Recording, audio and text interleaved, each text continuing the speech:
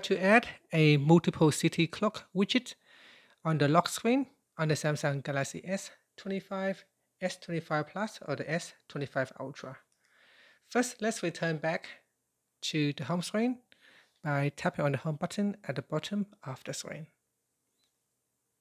Now from the home screen, swipe down at the top to open up quick settings. Then in here, tap on the settings icon. Next, we then scroll down and then tap on wallpaper and style. Next, tap on your lock screen, which is on the left hand side panel. At the top here, tap on the clock panel and then tap on style. Over here, this is the default clock. So you want to swipe across and select the multiple city widget.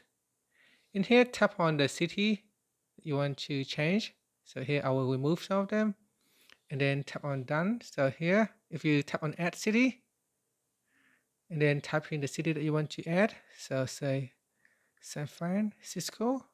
So I can tap on add. Next tap on add city again to add in another city.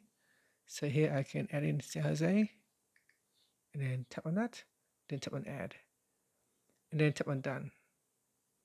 And that's it. Now if you go back to your lock screen, you can see it will now display multiple cities clock widget on your lock screen.